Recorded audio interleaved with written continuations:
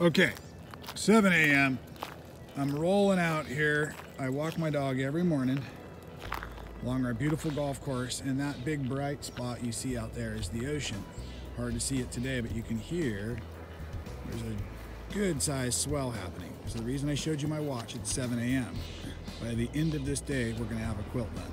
Okay, I won't tell you what time it is because then you'll know how long I've been goofing off. But it is certainly time to go have some fun in the ocean. I will be back real soon to start the tutorial process of this video. That was super fun. Had a blast, caught a couple of waves I, I, really enjoyed. But like I said, we've got a quilt to make. I am almost out of time for making today's video. That's what I wanted to do. I wanted to run the clock down so I could show you how to do this super fast and simple, easy project. I have a super great panel I've already created, put the borders on it, and I'm gonna drop it onto my fantastic new Juki J350, the Miyabi, the long arm, and I'm gonna show you how you would set it up if you were working on a panel quilt. Time to get to work.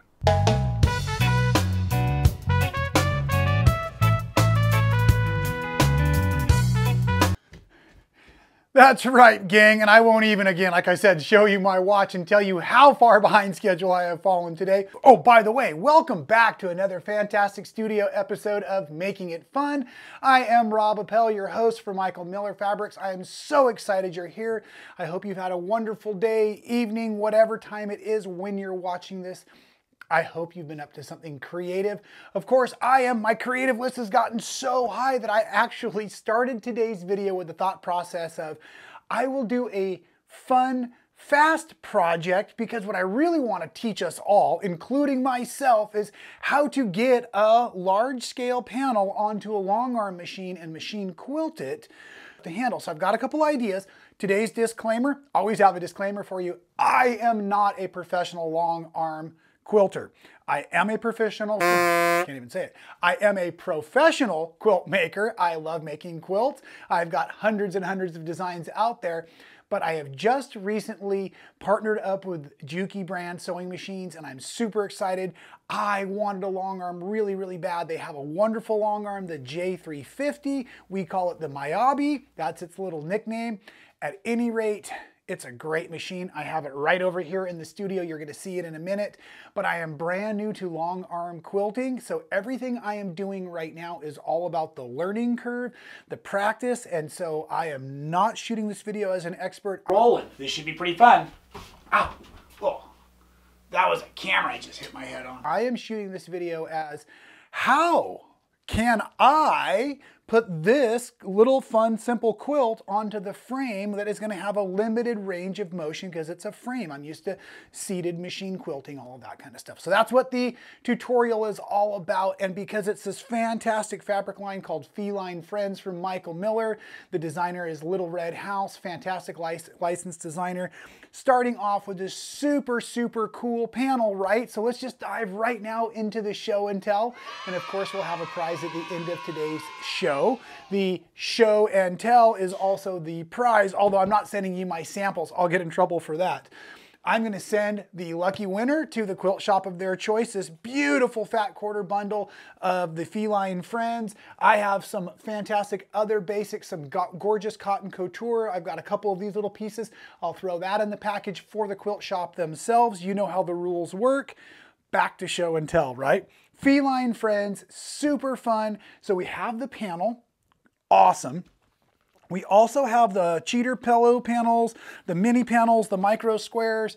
Look at these. Are these cute or what? We've got all of these fantastic little guys hanging out with the repeat of a small version here of the large panel you just saw. And these just really clever little cats and mice hanging out. We have a border print also. You know, I love my border prints. So this will be a double border print and these fabrics all started shipping in September. So you should be able to find these at your local quilt shop. Remember, that's why we're doing the making it fun thing here. We want to remind you the importance of the relationship in your local quilt shop. Those quilt shops count on all of us quilters to visit those shops and find fabulous stuff take advantage of the education that's going on, all of those kinds of things. So anyways, you know me, I'm all about a local quilt shop. My mom and I had a local quilt shop for a million years. I know I don't look that old, right? And uh, it's just really, it's just been such a blessing for me to be part of our community in that way. And so that's why the videos and that's why the Michael Miller sponsorship is to let you all know we love you. We want you to enjoy your local quilt shops. Now, let's dive into a couple of these little coordinates because there's one I'm just gotta show you. I'm not even gonna make you wait. Right there it is goldfish, right? I mean, is that amazing? I just love it. Of course, the mice with the cheese is another winner. I think that's super cute. We have balls of yarn. We have cats all over in a little tossed format. You get down into here, they're doing a little bit more bouncing around. In today's project, I'm actually using this really cool coordinate. It's like a moon and a stripe, excuse me, a moon and a star kind of in a diagonal bias stripe. I love it. And with the panel, let's talk about this for a second because it was one of the strategies I used bouncing into the tutorial already. When I got my panel, it was cut and you can see the cut lines right along the edge. What I wanted to do was to make it look like I had done some really intricate sewing to create some like very minute borders. But all I really did was lay my ruler right here along this printed line and I cut a half of an inch of the blue fabric, like a fussy cut, half of an inch of the blue so that you can see it over here in the panel as the narrow strip. But again, it's not a patchwork, it's just the print. So the Navy blue is a print. The light blue is a print. And there's that awesome coordinate I was just talking about. That falls into place. And then I have my toss cats on the background. And that is really, really fun and easy to do. So there was very little patchwork. I did a two inch um, strip for the interior border, we'll call it. And then I did a four and a half inch strip for the exterior border. And I basically just put them on vertical first so that it would just get wider and wider and I would still have enough across the bottom. Once the quilt top was completely done, I took the time to put onto the back of the quilt frame the wonderful coordinating um, little Fishbones, we'll call them. Another great band. I know you, if you know me and you know the kind of music I like, Fishbone, Okay, just right now, in the comments below, if you were or are a Fishbone fan, I need to know it. Yeah, we're gonna use this on the backing. I have preloaded the frame. I am super pumped up about this. I have floated some batting on here. Why am I talking about it? You just come with me. You've got to see this. This is so cool. Let's just grab, pull these pins out, our quilt top and walk it right over to the long arm. That's right, it's just right here and it fits beautifully. Now, the first thing we've got to do is we got to figure out how to get this thing on here so it fits correctly. Even though my cats are directional like this, I'm not gonna bother trying to keep them upright because what I wanna do is as a few amount of passes or rolls across the frame as possible. I've already experimented once with an applique to see if this would work.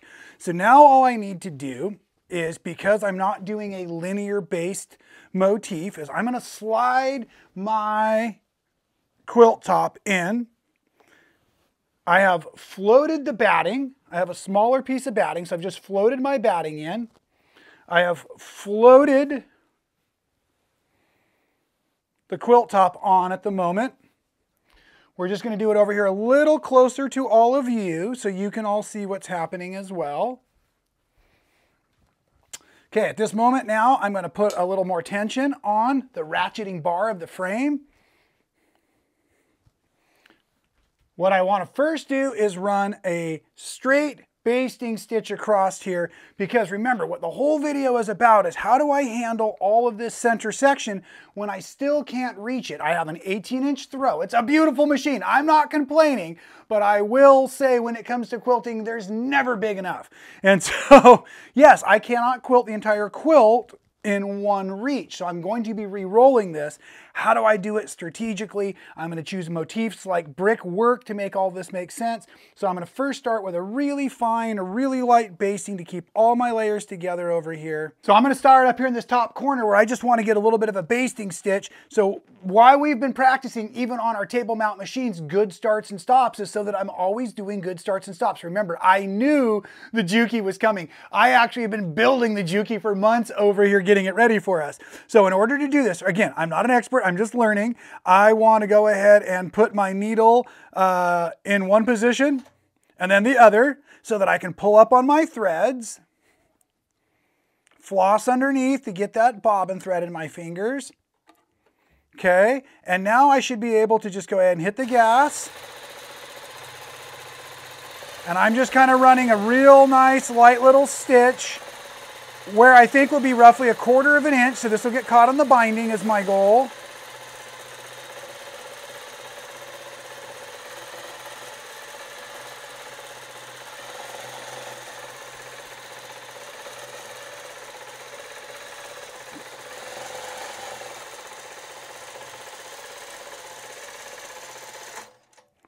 If you've been following my videos about quilting for a long time, you know I always say we start in the middle of the project. And that's on a domestic machine, that's on a table mount machine, and basically because the way we're working. On a frame, we're gonna work in one direction. So not from the middle in all directions, but from the top basically down, or in this case, a side over.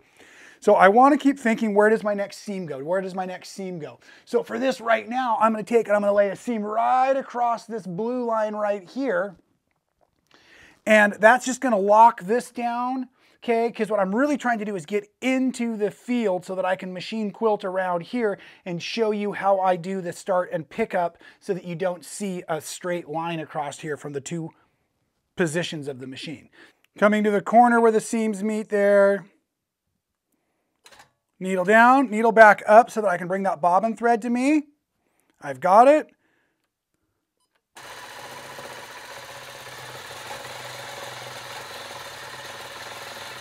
I'm just doing my best to basically stitch right along the ditch.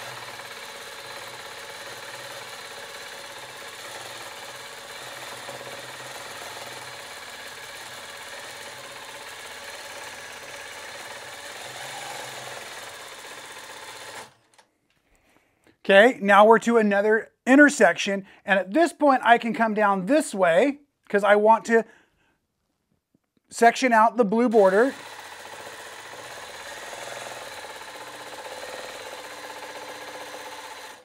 Okay? But I've run out of room. The frame and the machine can't go any further this way. So I'm gonna make a few more stitches in place.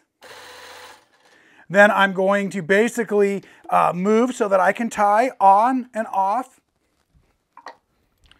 cutting at that bobbin thread. So let's not be afraid to do it. Start lots of starts and stops.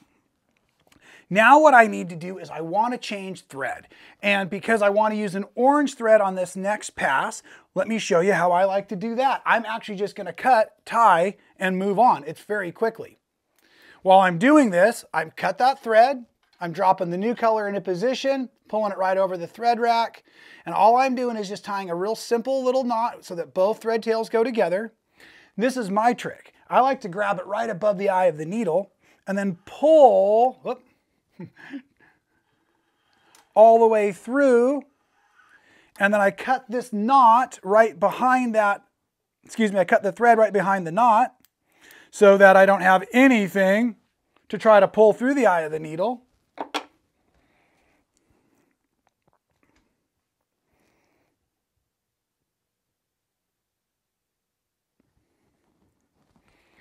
And now that the machine's rethreaded, we're just gonna come right back down. We're on the other side of the beautiful orange celestial coordinate. So I'm gonna basically drop my needle, pick it back up. Now I have my bobbin thread. I think you know the drill.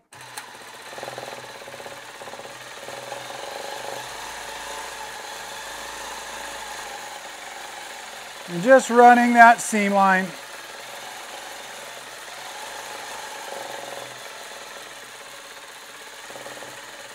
All the way back up here to the top.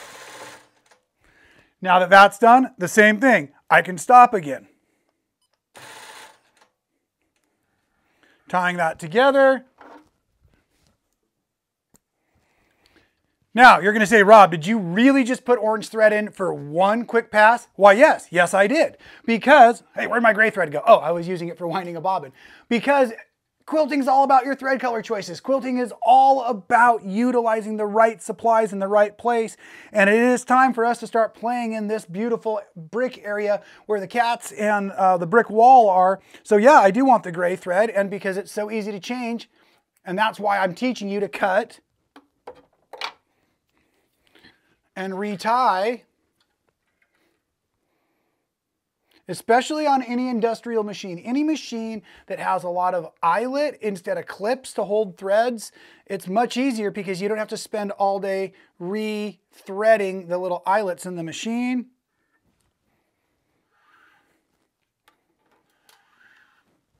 See how fast and easy that is? Didn't even speed up the video and post for that for you. I will be sweeping a lot later, I'm sure. Now that the machine's rethreaded with the gray thread in here, let's come up to this corner right up in here and we're gonna start working this brick wall. What I'm gonna do is I'm going to machine quilt the bricks of the brick wall in their mortar or in their cement, and I'm gonna leave everything else alone so that it will loft or lift off later. That's the goal. So I'm gonna come down here almost to the corner and I'm going to uh, drop my needle, pick it back up so I've got my bobbin thread.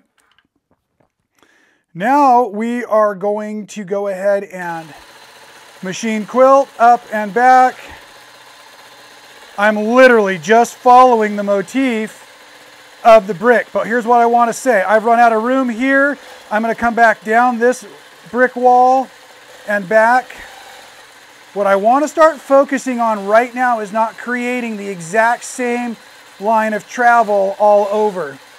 So what I'm going to do is kind of mask in a little bit of my start stop around the yarn ball.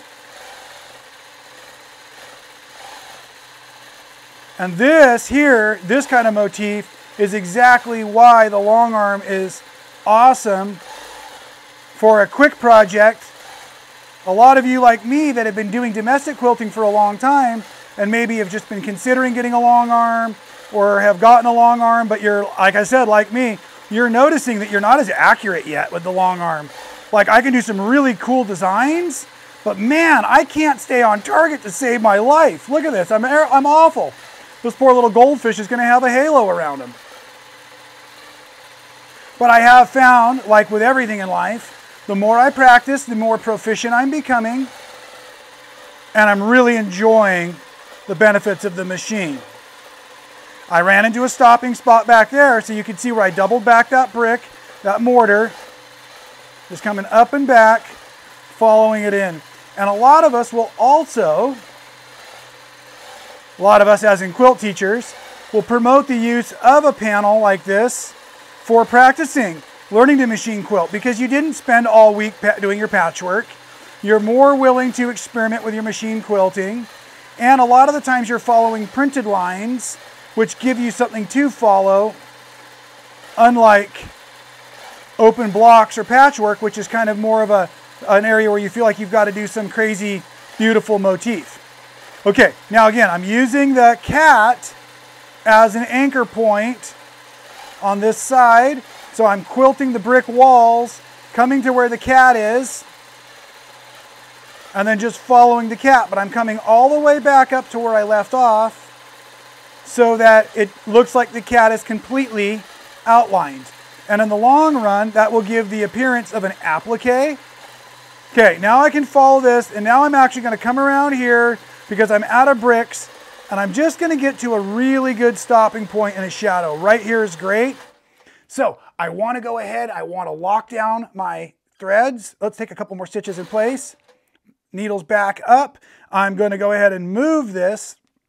And now let's talk about a couple of new things. First of all, before I re-roll this and before I actually cut the blue thread, I really should have come down here and put that line of stitching in here with the blue although it could be done on a regular machine later on. If I just had to do this one last row of stitching, I've already been in that position where I've machine quilted a bunch on the long arm, but then needed to do a little bit of extra stuff and it was just easier to do it on the domestic once everything else is done. That's completely legal. You can start and stop on different machines as long as you know that you're remaining accurate as well as you're keeping uh, respect to that seam allowance if you're talking patchwork. That's why we started those rumors years ago about starting and stopping on the same machine. It was all about your seam allowance. But this is machine quilting, so do what works best for you. Oh, and for me, it's time to roll this frame. And when I say roll the frame, I mean these bars all now need to be adjusted. So we're gonna unclamp our clamps that we're pulling the backing taut. There are ratchets here, so I need to loosen the ratchet so that it will just roll. And again, I'm just using the frame for the backing right now. Everything else is floating, so I do not need to loosen all the rest. But remember, always loosen all of the ratchets. Then on this cool frame here, I'm just gonna go ahead and grab this and I'm gonna roll it through. And now I wanna talk about what I'm thinking about and what I'm looking at as I do this, okay? So as I'm rolling it through right now, we know that this is where I last left off. So I want to be able to get that spot almost all the way back here so that that's where I'm now starting. I'm also petting because I did float this in here and that's why we're stitching in this direction across here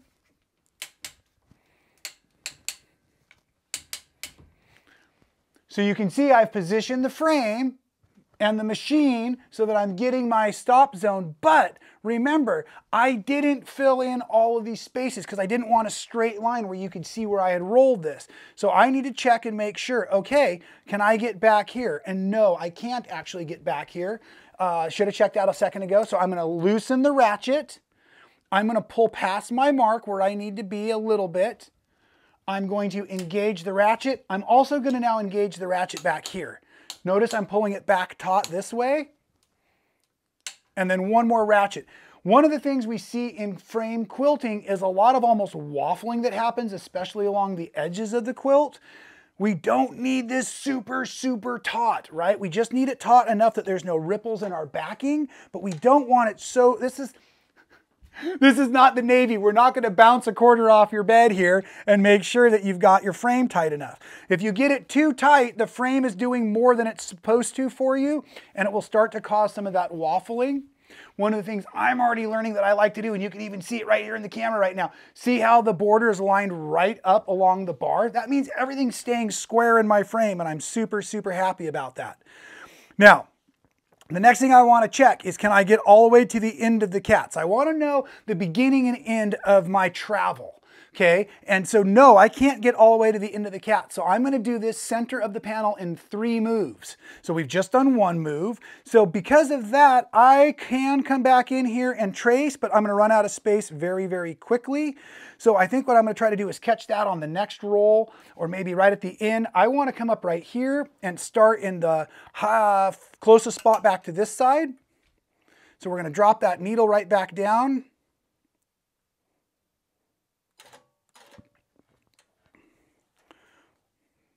And we're ready to rock and roll again. First following around the outline of the cat. And then I'm back on my brick wall, making sure it's all filled in.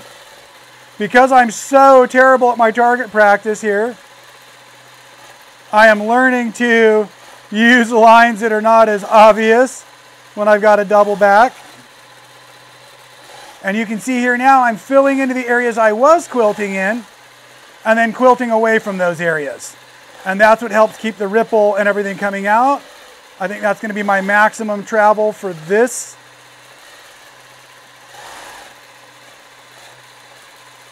And again, a brick wall motif is a great motif, even if you didn't have the pre-printed bricks here to follow. Capturing the words hello in there as well.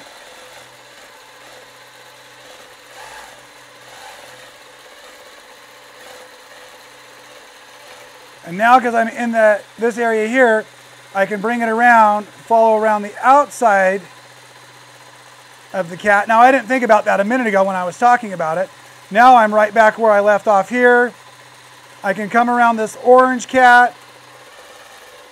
If all is lucky, I'll follow the black cat's tail. Oh, not very well.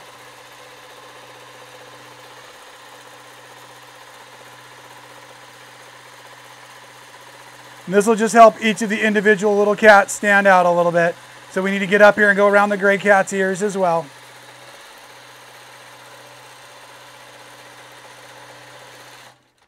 And technically that was, oh, I was going to say I was ready to re-roll again, but I need to get up in here. So I'm going to go ahead and finish out this area and re-roll it. And I think I can just follow a little bit more of the brick so that I don't have to cut thread to get there.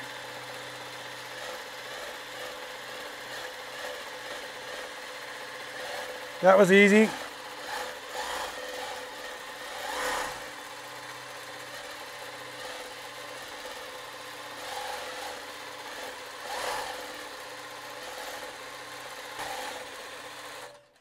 Okay, and I'm in a great corner, a great stopping point here. That's gonna give me the travel I need. I'm gonna leave the white thread loaded in here. And this is another trick that I've learned in the last time I played with this. Because I'm not doing another stop, I can technically, if I'm careful, rewind the fabric or keep moving the advance of the fabric without even stopping thread. I'll keep the needle right over the spot where I left it. And as a matter of fact, if you're really careful, you can drop your needle into the down position so you don't lose your spot at all. And then go ahead and prepare to re-roll the frame. Lock that ratchet in, pull this one tight, maybe one more, there. And you'll get the feel of it. You'll start to be able to see the way it needs to be for you. Go ahead and always keep your clamps, but again, not pulling so tight from the sides that they're actually waffling. Okay, and because we didn't move our bobbin thread, we didn't cut, we're just gonna go ahead and pick right back up with the machine and continue our brick motif. Now I'm gonna come all the way to the edge, run it down, back. This way I just don't miss any of my spots.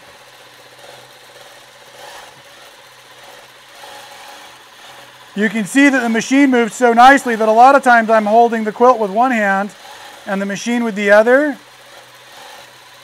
That's probably not appropriate. But if your machine's good, I guess it is. I'm going to focus on the bricks first, come back to the cats, but hitting the outline of the cat on this side while I'm working.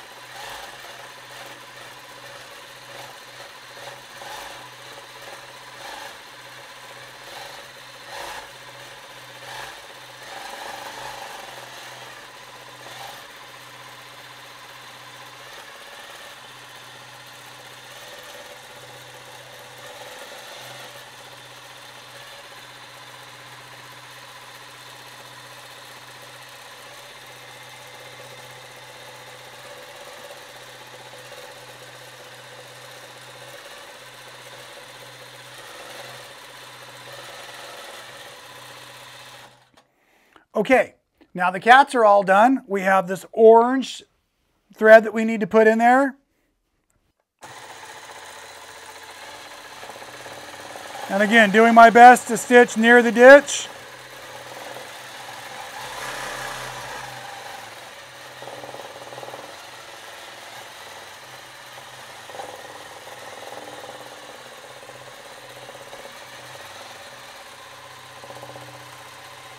Here's another good uh, life lesson, uh, which would be better to teach than edit out of the video. So I'm going along the orange stripe and I'm thinking, boy, that stitching looks so good. You can't hardly see the thread at all. Yeah, well, it's because I broke the thread and I wasn't making any stitching. So if you break thread on the long arm, the bobbin is still intact where it broke off, right? And so you maybe been dragging it back and forth. So it might be good to try to cut it if you can. If you can't get a hold of it, what I like to do is I start to pull the stitches back a few stitches because I still want to make sure that I'm secure. This would be a perfect baby project, so it's going to be washed all the time, right? So what I want to do now is I want to come in here and I want to take a needle down, a needle up again, so I have all the layers of everything I was working with. Now I'm to make a couple stitches and move on I have stopped the machine. I'm checking to make sure everything's holding. It is beautiful. And now we're ready to rock and roll.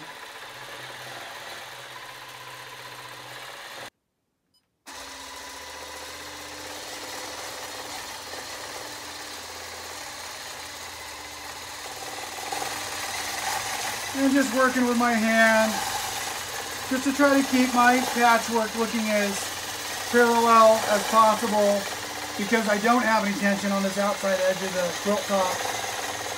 So just pulling it in here. Okay, now let's go ahead and set this needle down. There's one more thing we can talk about. And at this point, if you're kind of going to glaze over, I understand and don't worry about it. If you're new to long arming, one of the things you've heard before is you can't go forward and backwards in the frame, and that is often true. But right now, I have only layered my quilt back onto this project. Okay, so the only thing that was ever locked into the frame was the quilt back. The batting was floating and the quilt top is floating or is now gone past the end point. So technically I can actually back this up and I need to right now because I forgot to catch that blue thread along the top border. So I'm pulling off my frame pieces here. I've got my fingers crossed that this is gonna work awesome. I do want to go ahead and um, see if I can set this frame while the needle's down. So I'm gonna unlock the ratchets. And actually, I'm going to ratchet this one back in the opposite direction.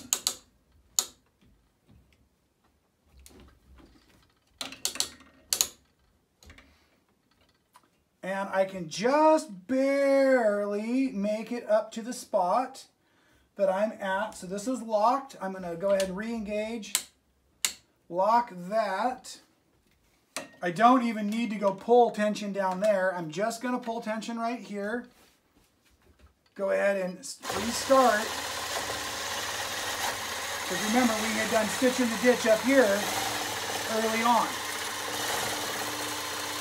Okay, now I'm close, but I have about this far to still go. Drop that. Let's see. Unlock here. Let it out a bit. Pull tight that way. Lock down. Lock up. Don't ever take shortcuts. Put your clamps back on. And then right back in to that first strip we did across the top. And because that works so well here, let's go ahead and come down to the frame and down here and do it. So we're going to tie off and bring up needle. Cut the bobbin and the top thread. And then this time, let's come all the way down here.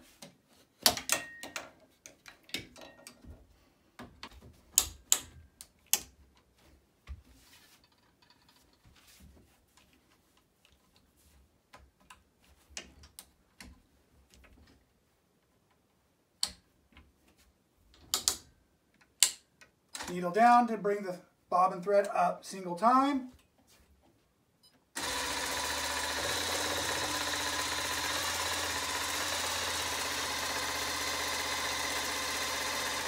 stop, needle down. So you can see once you start to rechange your philosophy on the way that you actually do the machine quilting itself. I can't say that and work the frame at the same time, of course.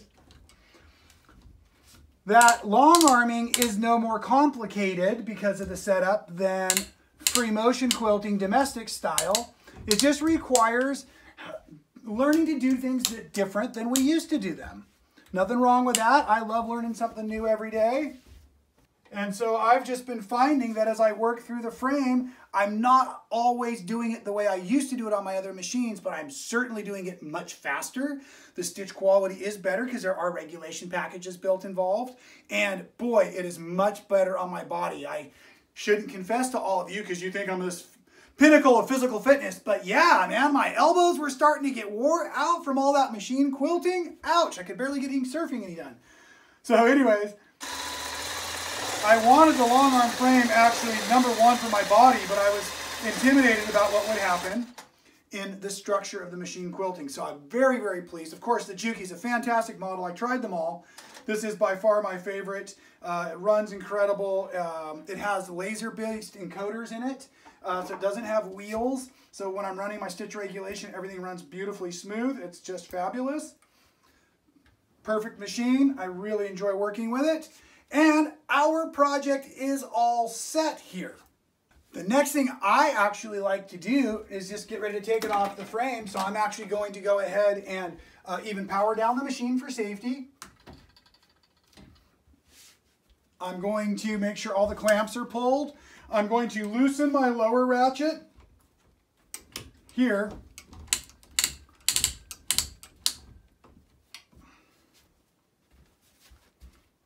And let me just show you this. These are what we call leader strips. And the leader strips, it's a piece of, well, cotton couture, of course, that I made that I have just safety pin basted on um, each time. Some folks will do it with zippers. Some folks will do it with safety pins. Um, I started with safety pins because I didn't know what I would like.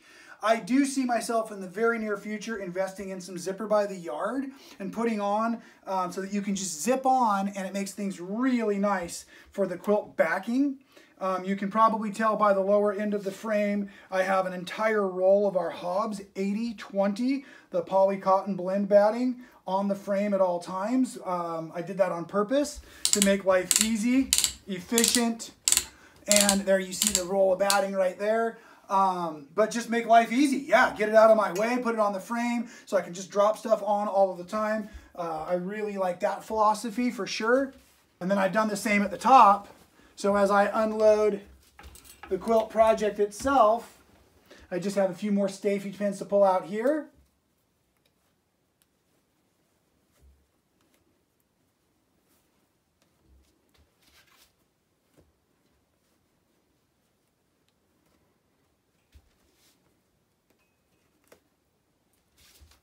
Once the project's off, you're all clear, you can take it right back over to your workspace. Throw it down. And you can't see any problems on the back, and neither can I. That's a great thing, but you always say, hey, Rob, we want to see the back side, and I assume you mean the quilts. So at any rate, here it is. It turned out perfect the front. Of course, I've got some trimming and some binding and all that kind of stuff to do, but boy, was that incredibly fast or what? And again, the big question we are answering today was how do you deal with something with a scene or a panel or something like that that doesn't fit in the rolls of the frame? Well, you just think about it in sections. You use very basic motifs to fill in the space and if you're floating the project, you can actually go forwards or backwards, and hopefully that's a new tip for some of you. I've always been told I could. I just did it for my first time right over there. And as I walked back onto the set, I'm having a panic moment. I don't know that I recorded any of that with one of the cameras. We'll see how this video turns out. Maybe I should have just stayed out in the ocean and surfed all day, but I couldn't stay away from all of you any longer. Not only because I love hanging out with all of you here at Making It Fun, but because I've got some fabric to send to some quilt shops and some prizes and stuff. So, if you've never seen one of our shows here before, what I like to do is I have a mystery box of questions. I am going to pull a question out of here in just a moment. I'm going to read the question. Uh, you will have until the Friday following this video to answer your question in the comments below on this video. Make sure you're subscribed to Making It Fun with Rob Appell. Answer the question. I pick one random prize winner, and then I'll ask you to let us know what your favorite quilt shop is. If you want to tell us in the comments already, great. We love to hear what your favorite quilt shops are. I will send them a prize and I will send you a prize and it is super, super fun. We're having a blast with it. So with no further ado, let's get the prize questions, the mystery question ready here. Oh, I always flip them over weird. Let's just grab one in here. I have no idea what it says. Oh, what a perfect question for today. My answer was, they just came out of the box. Your answer, please, in the comments below. When was the last time you had your sewing machine serviced? It's a good question. It's an important answer. Uh, we'll get back to you with what the appropriate manufacturer's recommended is on that in another video very soon. You know I'm a machine mechanic as well, and I have very strong opinions about taking great care of my power toys. Thank you, Juki, for the beautiful new power toys. They did just come out of the box. They ran beautifully out of the box, and they are always oiled and serviced constantly. All of my machines are. How about you? When was the last time you had your sewing machine serviced? Comment below. We'll see you next time right here. Hat Head, making it fun.